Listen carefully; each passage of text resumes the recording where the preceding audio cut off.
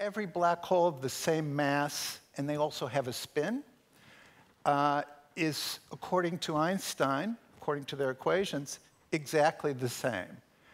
And this puzzled people, and uh, the great John Wheeler, who also invented the word black hole, described this by saying a black hole has no hair. That is, it's a featureless object.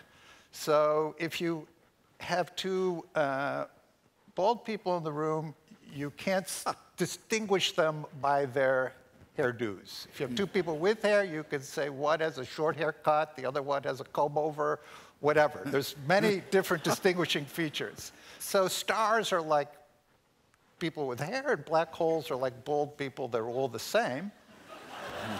and, uh, well, if you can't see very well.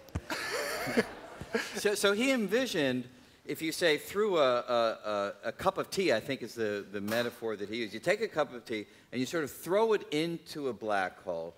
He was worried that the, the information carried by the tea, the entropy, if you will, the disorder carried by the tea, would have no way of showing up inside right. a black hole because, like you say, it has no hair and they all look the same. Right. So this, right. this him was a, a, a, puzzle that you could sort of get rid of entropy by throwing it inside a black hole and it would be gone from the universe. And, and his student, Bekenstein, began to think about this and he gave insights that ultimately led to your work.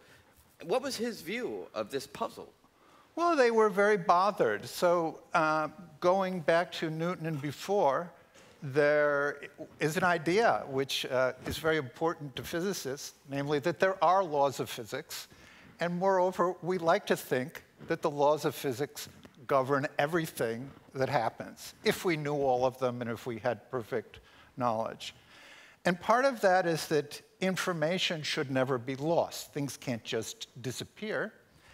And so if you threw a cup of coffee or a computer or your diary or something into a black hole, according to the way that Einstein would have described them, there's no trace of it left. It's just vanished. And that is antithetical to everything that uh, physicists would like to believe.